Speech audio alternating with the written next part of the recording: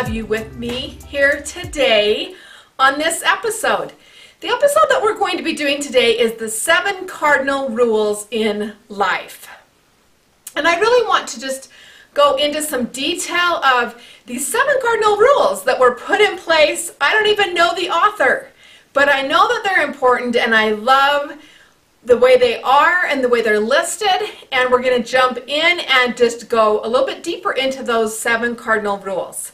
But before we do so, I want to invite you to go to our website at www.allthingspossible.biz and get your free gift. I teach seven traits to live by, to have all things possible in your life. And I want you to be able to go and get those for free it comes to you as seven videos of the seven traits that I teach and that I keynote on all the time. I want you to have those. So go to our website and get your free gift. Okay, so let's go into this. The seven cardinal rules in life. Now, what is a cardinal rule? Well, it is a rule that's been in place that everyone feels is substantial, and to be stood by. So, what are the seven cardinal rules of life for us? We're going to go through each of these rules independently. I just recently returned from a retreat, and at this retreat, I had several people that came and stayed for three days. And a couple of the traits that I teach and a couple of the things that we went into deeper levels with were seek for good, and also to be happy and cheerful. That's two of the traits that I teach all the time. And in those traits, I brought out these seven cardinal rules because they fit very much in that be cheerful and happy, and also with seeking for good. The more confidence you can have in yourself and the more assurance you can have in you, the more successful you will be. And when we live our life in accordance with what's going on in our reality, we have better success. So, the seven cardinal rules that are out there for us in our world the first one is make peace with your past. Now, that, that really is important. When we let our past control our future, we are not very successful. We do not have to be defined by our past. So let me talk about that for a second. Are you so caught up in where you're at in your life with what's happened to you in the past? Have you been mistreated? Have you been abused? Did you have poor parenting? Did you have bad teachers? Did you have someone hurt you or make you feel less than? And are you using that as your criteria now in your life? Making peace with your past means forgiving and letting go. It does not mean forgetting. It does not mean being abused again or putting up with that behavior. It means letting go of it so it no longer affects you and your forward progress. It means allowing yourself to achieve anything that you want without being held back by what defines you from your past. What you've had in your past can determine your beliefs and the things that motivate you. And when we live in the past and fear, we don't accomplish things. When I was 14, I was attacked by some strangers who wanted to cause harm to me. When I let that control my future, my future did not look very good. I was scared of the dark. I was afraid someone was going to come out and grab me. So I had to learn how to let go of that. Did I actually get to make amends with those people? No, I made amends with me. I forgave the situation and let it go. That's a good example of how we can make peace with our past and move forward in our future. Possibly you have a relationship with a parent or an adult that was not a very good relationship and it's controlled a lot of how you are as an adult. The sooner you can let go of that and, and make peace with it, the faster you can move forward. Let's go to the second one. What others think of you is none of your business. Now, I brought that one up at the retreat. And one of the people was like, What? But it's true. What other people think of you is none of your business. It doesn't matter if you like the color of my shirt or my necklace from Africa. It doesn't matter if you like my hair all pulled up or my hair down because that's your judgment. That's your criteria. That's your journey. That's not mine. My reality is my information. It's my circumstances and it's what I have and what's important to me. Has nothing to do with what you think. So what others think of you is really none of your business. It gets you to fall off of your journey and and out of being in alignment with yourself. Their beliefs, their judgment, everything about them is going to be different than yours. So the sooner you can quit worrying and allowing other people's judgment to be a part of your decisions, the faster you can move forward. So, yes, when people say things, it does come into us, but you're the one that allows it. So, you have to learn to not allow it. One of the things that I did at this retreat was I walked over to one of my friends that was actually there as a, a client and said, Well, I don't like your glasses. And the person next to her was like, How rude. And I said, But it doesn't matter if I like them. It matters if she likes them. They're her glasses. And I actually did like the glasses, but I brought it up as a reason for her to, to recognize it didn't matter if I liked them or not. I didn't pay for them. I don't wear them every day. It's not my colors. It didn't matter. And the sooner we figure out that it doesn't really matter, the better we are at being successful. Okay, number three, time heals almost everything. What I can tell you is that when you will allow some time to lapse into that situation, it can get better. Now, this is very good with losing a loved one or a breakup of a relationship. Allow it to have time. Time does heal those wounds. Time does allow you to look at the perspective before you speak so that you're not creating bad feelings and saying something that you regret later. Time is a good healer to be able to look at things with a, an actual perspective. Give, allow yourself to look at it with enough time to look at all the possibilities and to see things from a different point of view. So much of the time, we jump to conclusions when we're hurried to make a decision or when we don't allow ourselves the time to really get all of the facts. And getting all of the facts is important. Knowing that you have the documentation or you have the information that you need. You don't have to rush to conclusions and you don't have to jump to those conclusions and create a bigger problem. Number four, no one is the reason for your own happiness. That one is huge. You are in charge of your happiness. You are the only one that can decide and choose if you are happy or sad, if you're happy with a situation. Now, all day long, people say, yeah, but, but, but, but. Yeah, I had no control over my child's decision. I had no control over what my spouse did. It wasn't my fault I was in the car accident. But what I can tell you is you're still a choice. You still have to choose if you're going to be happy or not.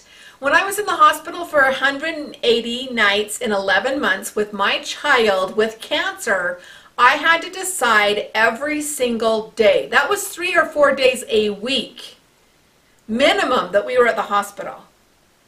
I had to decide every day the attitude I was going to show him and how he and I could get through that really difficult time.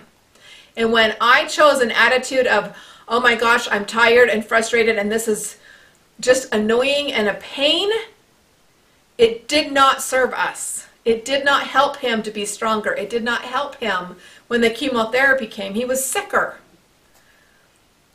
And it was worse. We got no sleep.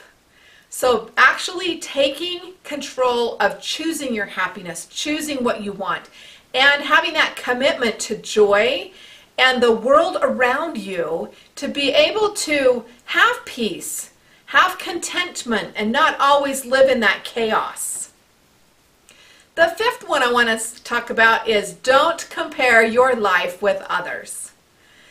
In our world right now, I say this a lot, but with social media, we go on Facebook and we compare our current situation with someone's post.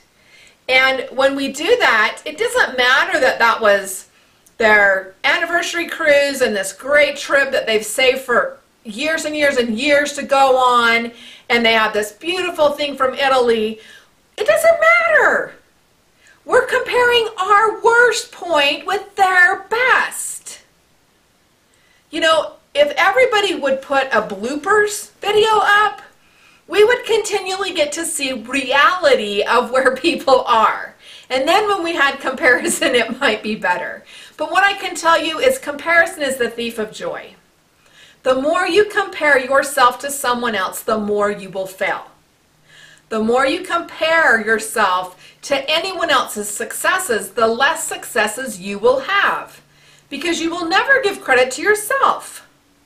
You need to have success for you. The only way for you to move forward and have better success is for you to celebrate the successes you are having and stop comparison. The only person you should compare yourself with is the mirror. Compare yourself to you. The only person you have to out achieve is yourself. Set your goal to be go to the next level the next day. Go to the next level in the next three months. Have a 90 day goal. But don't compare to other people. There is no comparison because you aren't on the same journey. You don't have the same circumstances. And it's not about comparing with each other. It's about being the best you you can be. It's about taking your life to the next level. It's not about comparing to someone else and where their life is. That's a huge one. And until we get to the point that we can actually go through our life and love where we are, the longer it's going to take. The sooner you can love where you are and love where you're headed, the sooner you can unconditionally love yourself. And then the more unconditional love you can give to others. Number six, stop thinking too much. How many of us get in our head about how long it's taking to do this, how much money we were supposed to make and we aren't there yet? How many times do we get in our head? At the retreat that I just got back from, we had several in the retreat that were so focused in their head, they had a hard time going to their heart and actually coming from a space of what they really want, what they value, instead of trying to think it through. We get caught up in our head and we get the more pressure we put, the less answers we get. When we can go to our heart and we can go to our feelings instead of our thoughts, we will come up with the right answers. We will come up with the next direction. The more we can be patient and accept the next move that we are supposed to take, the sooner we will get the answer. When we get all caught up in what's next and how does this look, and I don't know, we get frustrated, we get impatient, and we try to force something. When you try to force something, you don't have the same result. And forcing does not equal success. What I can promise you is when you force it, you don't have the right people in the room, you don't have the right the right message being given. You need to just allow it to work. You need to be willing to allow it to be the best possible scenario for you. And number seven. Number seven is smile. You do not have all the problems in the whole world. Your problems aren't as bad as someone else's. I can guarantee that. In fact, when we went in the hospital for 180 nights, we went and visited other patients to give them a balloon. And that was one of the things that was proven over and over is that we were going to keep our own circumstances. We found a lot of people that had it a lot worse. And yes, we found a lot of people we had it a lot worse then, but we also found that as we put a smile on our face and as we were happy, it brightened the darkest days. It made our life more beautiful and more inspirational for us to move forward. The potential of our life to go the direction we wanted was so much better. And I see this every day as I spend time with clients and as we move people's lives forward with my husband and I in all things possible. A smile is the most contagious thing you can give. And it will brighten your day, it will brighten someone else's day, and it will give you a good perspective. Whenever we can strive to be the happiest possible, we will be healthier, happier, and more successful. I know that sounds like a cliche and like it's not really real, but try it. Try to go around grumpy and see what success you have. Try to go around being ticked, see what success you have. And then try to go around being happy and cheerful and smiling. Smiling is very important, and your problems will not seem as big if you can find the happiness, look for the good things, look for the happy moments, find that gratitude. You know, as I was trying to find the author of the seven cardinal rules, I found it several different things, but one of the things that I found was someone that did an eighth one to it, and she added gratitude. Now, I teach gratitude all the time. Gratitude is one of my seven traits, and gratitude is huge in my life and my clients' lives because what we're grateful for expands and we get more. And I continually teach that all the time. When we can be grateful for our circumstances, we can be grateful for what we have and the lessons we're learning, we will have better success. I hope you've enjoyed the seven cardinal rules. Maybe you had forgotten about them, and it's a good reminder. These seven are easy to implement, easy to live by, and can give us happiness and joy. It also is a great reminder for us to align ourselves so that we can move forward and that we have better success. I want to offer you a strategy session with myself. To do that, you need to go to the website at www.allthingspossible.biz and go to the contact us button send me a quick email that said i would like to get my strategy session i would love to work with you and to give you that free bonus as well as you can get your free seven traits and get on our email list to where you get the latest episodes. You get to have the latest material that we have out there and you get to continually have positive reinforcement of someone assisting you to take your life to the next level.